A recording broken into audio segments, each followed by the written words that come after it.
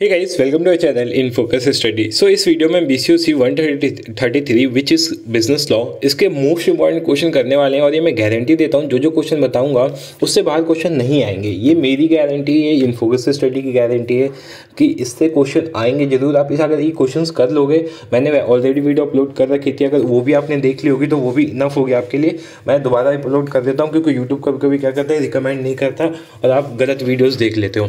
ठीक है? सो इन क्वेश्चन को बहुत अच्छे से कर लेना और डिफरेंट और शॉर्ट नोट्स तो और अच्छे से करना, ठीक है? क्योंकि उससे क्वेश्चन मैच होते हैं कमेंट वाले लाइक ये कमेंट वाले क्वेश्चन बहुत बार आए हुए हैं तो इनको देख लेना। क्योंकि मैं देखो, ये जो अभी बिकॉम जी है ना, ये ओल्ड वाला बिकॉम से ही बने हुए हैं, ठीक है? तो उसके क्वेश्चन पेपर इसके क्वेश्चन पेपर हमेशा सेम ही आते हैं लगभग। सो so, पहला क्वेश्चन है all agreement are not contract जो भी अग्रीमेंट होते हैं वो कॉन्ट्रैक्ट नहीं होते but all contract contract are agreement discuss this statement clearly bringing the essential elements of valid contract तो देखो ऑब्वियसली बात है अगर हम देखना चाहें तो ऑल कॉन्ट्रैक्ट जो जो सारे कॉन्ट्रैक्ट होते हैं वो अग्रीमेंट नहीं होते ऑब्वियसली बात है। ठीक है ऑल कॉन्ट्रैक्ट सॉरी ऑल जो कॉन्ट्रैक्ट होते हैं सारे वो अग्रीमेंट होते हैं बट अग्रीमेंट कॉन्ट्रैक्ट नहीं होते। एक एग्ज़ाम्पल लेते हैं। मान लो मैं और uh, मेरी कोई टेंडर डेट है ठीक है उसके साथ हम गए डेट करने। हैं। ठीक है? I don't show up this result in waste of my tender date precious time so now she can't compel or sue me for the damage as we have had had a casual agreement not a contract क्यों? क्योंकि मैंने उसको बताया भी नहीं था। और हमारी बस कैजुअल अग्रीमेंट हुई थी। ना हमने कोई कॉन्ट्रैक्ट किया था लाइक हमने ना पेपर पे कोई साइन वाइन किया था। ठीक है? सो इसमें क्या होगा? Uh, ये वैलिड नहीं होगा। ठीक है? ये हम बस अग्रीमेंट था हमारे बीच। ठीक है? इसके लिए कोई ना तो हमने पेपर साइन किए ना कुछ किए। तो ये अग्रीमेंट ही होगा। ऑब्वियस बात है तो कॉन्ट्रैक्ट तो माना ही नहीं जाएगा। सो ये हो गया। दूसरा अगर हम, दूसरा एग्ज़ाम्पल लेते हैं। मान लो मैंने किसी कंसल्टेंट को हायर किया ठीक है मेरे लिए काम करने के लिए for specific project we have a sign contract for the same ठीक है। Now due to personal issue if I neglect to pay her she can स्यू मी अगर मैंने उसको पे करने से मना कर दिया तो वो मेरे ऊपर केस कर सकते हैं। क्यों? क्योंकि हमने कॉन्ट्रैक्ट किया हुआ है ठीक है। सो so, ये हो जाएगा। So a contract is legally binding whereas an agreement is typically not enforced by the law ठीक है समझ गए होगे? होप्स आप बहुत अच्छे से समझ गए होगे क्योंकि इससे ईजी कोई समझा ही नहीं सकता था। No seller can pass a better title than he himself has. Explain this rule. Are there any exception to this rule? Explain. ठीक है तो देखो ऑब्वियस बात है कोई भी सेलर जो टाइटल है, वो खुद से अच्छा पास नहीं कर सकता ठीक है transfer of titles means transfer of ownership of good the general rule of transfer of title uh, is uh, that only the owner can transfer the goods title. No one can give the better title than he himself has. This rule is expressed by the maxim uh, nemo that quad not habet, okay, which means uh, that no one can give what he himself has not. Uh, in other words, uh, seller can't give the buyer of the uh, goods a better title to those goods uh, that he has himself given. ठीक है तो आप read कर लेना अच्छे से next question की तरफ़ चलते हैं. What is a contract explain essential element of contract giving suitable example so ये क्वेश्चन आया हुआ है दो बार आया हुआ आई थिंक ठीक है? और अभी प्रीवियस सेमेस्टर जून 2022 वाले में भी आया हुआ था. सो so, कॉन्ट्रैक्ट क्या होता है? इसके असेंशियल क्या क्या होते हैं? तो so, देखो कॉन्ट्रैक्ट क्या होता है? एग्रीमेंट होता है इन्फोर्स बाई लॉ लॉफुल क्या प्रपोजल होता है by the one party and the other party must accept promisor और प्रोमिसी जिसको बोलते हैं there must be a lawful consideration lawful consideration होना चाहिए. एन एग्रीमेंट में भी ऑरल और रिटर्न होना चाहिए. An agreement may be without consideration if it is made, made out of a nature love affection between close relative free consent and capacity to contract section 11 में बताया गया। फिर उसके बाद असेंशियल क्या होते हैं? ऑफ़र ऑफ़र और एक्सेप्टेंस होना चाहिए। कैपेसिटी ऑफ़ पार्टीज़ होना चाहिए। कंसिडरेशन कंसेंट होना चाहिए। फ्री कंसेंट होना चाहिए। कोरिएशन होना चाहिए। ठीक है? इन्फ्लुएंस होना चाहिए। फ्रॉड नहीं होना चाहिए। मिसरिप्रेजेंटेशन नहीं होना चाहिए। मिस्टेक नहीं होनी चाहिए। अनलॉफुल ऑब्जेक्ट नहीं होने चाहिए। तो ये सब इसके क्या है? वो थे। फिर an agreement is the restraint of trade is void comment on this statement mentioning the exception exception if any ठीक है, अगर कोई एक्सेप्शन है तो बता दीजिए। Discuss the essential of a contract of bailment and state the right and duties of bailee ये question आया हुआ है, ठीक है, ये क्वेश्चन मतलब इसी से क्वेश्चन पिछली बार जो पेपर हुए थे, इस पी डी एफ़ से मोस्ट ऑफ़ क्वेश्चन आए थे। आई थिंक uh, जो हमारे पे ऑप्शन होते हैं ना लाइक हमें आठ क्वेश्चन में से पाँच करने होते हैं तो आठ में से छः या सात क्वेश्चन इस पी डी एफ़ से आए थे। तो आप सोच सकते हो पीडीएफ कितनी इंपॉर्टेंट है।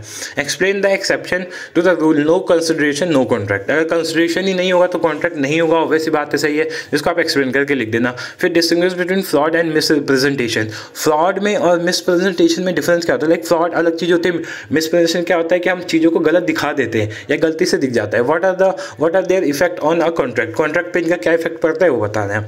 फिर define mistake explain various type of mistake mistake क्या होता है और मिस्टेक कितने टाइप के होते हैं वो बताना है आपको। फिर who is finder of good finder कौन होता है गुड्स का? Explain the right and duties of finder of goods ठीक है? फाइंडर कौन होता है? फाइंडर गुड्स कौन होता है? उसके क्या क्या ड्यूटीज़ होते हैं? क्या क्या राइट्स होते हैं? वो बताना है। और इसी से रिलेटेड एक और क्वेश्चन आया था। What is mean by good in contract of sale ये जुलाई हाँ June two thousand twenty two में आया था। Explain various types of goods ठीक है, ये क्वेश्चन आया हुआ है तो देख लेना इसको ninth question who is unpaid seller short note में आया हुआ था unpaid seller explain the right of unpaid seller against the buyer personally eleventh question देखते हैं। Differentiate between bailment and pledge ये शॉर्ट नोट में आ सॉरी डिफरेंस में आ सकता है। इसको देख लेना। Discuss the duty of bailee ऊपर भी हमने डिस्कस किया था? बेली की ड्यूटी के। बारे में।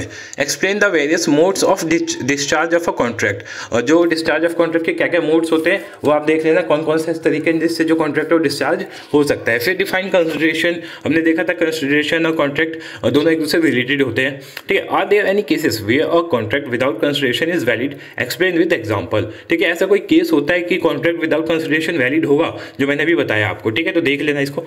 State the right and duties of an agent अच्छा क्वेश्चन है शॉर्ट नोट में आ सकता है। ठीक है, देख लिख के जाना इसको अच्छे से define partnership what are the essential characteristics of partnership easy question है पार्टनरशिप सबको पता होगा क्या होता है. What are the right and duty of a partner जो पार्टनर होता है, उसके राइट्स क्या होते हैं ड्यूटीज़ क्या होते हैं? फिर is it necessary to register firm what are the consequences of non register of a firm obvious बात है, कोई अगर रजिस्टर नहीं करोगे तो आप कोई भी फ़ाइल सेव नहीं कर पाओगे? कोई भी केस अप्लाई नहीं कर पाओगे? कोई भी अगर लॉस होगा तो आप उसको, उसके लिए कोर्ट नहीं जा पाओगे, ठीक है? तो ये हो जाए. हु इज़ माइनर जो माइनर होता है लाइक कोई बिज़नेस है, उसके पापा कर रहे हैं, वो उसके पापा मर गए तो बच्चा जो फैमिली का मेंबर वही बिज़नेस चलाएगा। ठीक है तो माइनर चला सकता है, ठीक है, कुछ लॉज है, वो आप देख लेना। आप when is a minor liable for contract if a minor misrepresent his is what is the legal effect तो ये क्वेश्चन बुक में डिक्टो ऐसे दिया हुआ है, आप जाके चेकआउट कर सकते हैं। A minor be a, a partner in partnership firm explain his rights and liabilities under the law law of partnership? ठीक है क्या अगर कोई माइनर है वो बन सकता है पार्टनरशिप फॉर्म में पार्टनर अगर है तो उसके राइट और लाइबिलिटी क्या क्या है वो बताइए। What do mean by implied authority of a partner indicate the cases where a partner has no implied authority ठीक है ट्वेंटी क्वेश्चन है. डिफाइन कॉन्ट्रैक्ट ऑफ़ एंडिमिनिटी और and contract of guarantee define sale and agreement to sell दोनों में difference क्या होते हैं ये भी बता देना आप। Explain the essential of valid contract जो ऊपर हमने देखा था, वही क्वेश्चन है। बाकी डिफरेंस वाले क्वेश्चन अच्छे से करके जाना। Void illegal contract express and implied contract executed and executory contract contract of a sale agreement of a sale condition और warranty contract of indemnity and contract of guarantee ठीक है? फिर क्या है? Coercion and undue influence misrepresentation और fraud ये difference है जो आ सकते हैं। बाकी शॉर्ट नोट्स आप देख लेना ये, ठीक है? क्या क्या हाँ discharge by breach of contract duties of a bailee consideration ठीक है quantum meruit is vocable agency unpaid seller ठीक है? तो ये हमारे कुछ क्वेश्चन थे जो पेपर के पॉइंट ऑफ़ व्यू से बहुत ज़्यादा इंपॉर्टेंट थे। ये सारे आपको क्वेश्चन अच्छे से करके जाने हैं। इससे बाहर क्वेश्चन नहीं आएगा, मेरी गारंटी इस, इसमें से क्वेश्चन आएँगे। जो हंड्रेड मार्क्स है तो ऑब्वियस बात है कवर हो जाएगा। और पास होना है तो ये क्वेश्चन अच्छे से कर लो ऑब्वियस बात है पास हो जाओगे, ठीक है? तो होप्स आपको ये वीडियो अच्छी लगी हो। अगर वीडियो अच्छी लगी तो वीडियो को लाइक करना चैनल को सब्सक्राइब कर देना। एक चीज़ और आप असाइनमेंट्स को करके जा सकते हो। असाइनमेंट से भी क्वेश्चन रिपीट होते हैं बट इसी में से आएगा लाइक असाइनमेंट भी कहीं अलग से नहीं बनाते इन्हीं में से दे, आप मैच कर लेना क्वेश्चन असाइनमेंट भी इन्हीं में से होंगे प्रीवियस ईयर की एक वीडियो है, वो मैं पिन कर दूँगा, वो भी आप देख लेना, ठीक है? सो होप सो आपको वीडियो अच्छी लगे वीडियो अच्छी लगे तो वीडियो को लाइक करना चैनल को सब्सक्राइब कर देना फॉर द इन्फॉर्मेशन मिलते हैं नेक्स्ट वीडियो में।